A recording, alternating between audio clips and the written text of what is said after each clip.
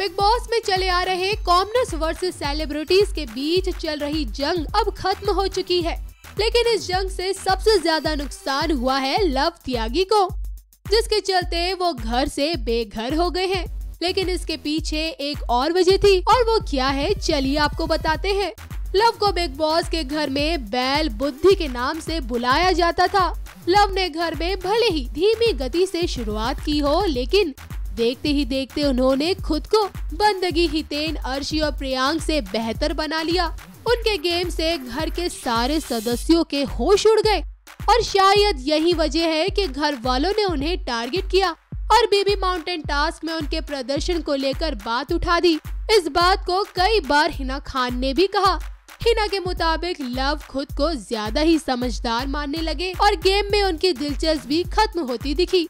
जब घर में डिबेट हो रही थी तो सभी सदस्यों ने उन्हें टारगेट किया। विकास ने भी लव त्यागी के परफॉर्मेंस को कमज़ोर बताया।